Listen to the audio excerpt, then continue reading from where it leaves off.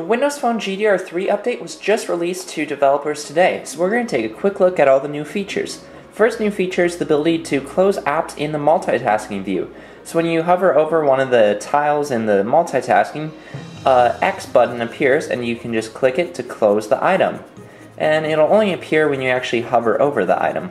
So for example, if we go and open our Internet Explorer here and Maps and get a few things open, then you'll see as we go through here, X will appear and X will appear.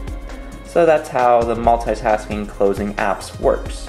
A rotation lock was also added. If you go to your settings, you can just click screen rotation and disable screen rotation so that when you're viewing things like Internet Explorer, they won't automatically rotate if you're viewing them on your side. Perfect for viewing web pages in your bed.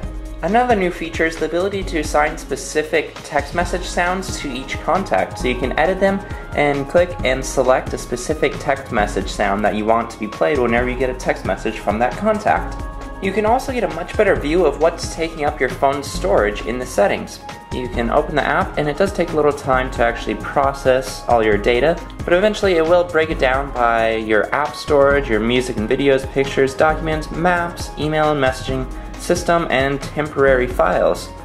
And there's also driving mode, which can disable notifications while you're driving.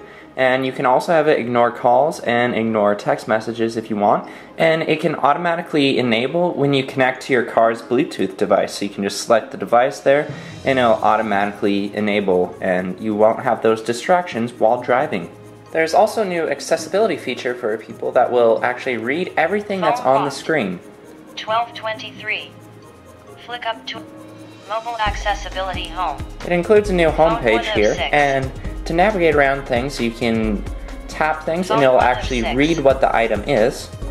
Messaging 3 of 6. And then to select something, you just double tap. There also will be the ability to share your internet connection via Bluetooth with a Windows 8.1 computer, but I'm quite sure it requires Windows 8.1 to work. And finally, it doesn't seem like current devices like the Lumia 920 will be getting the six columns of tiles on the home screen. It'll stay as it is. I couldn't find any options in the settings in, in order to enable more columns on the screen. This concludes our overview of the new GDR3 update to Windows Phone.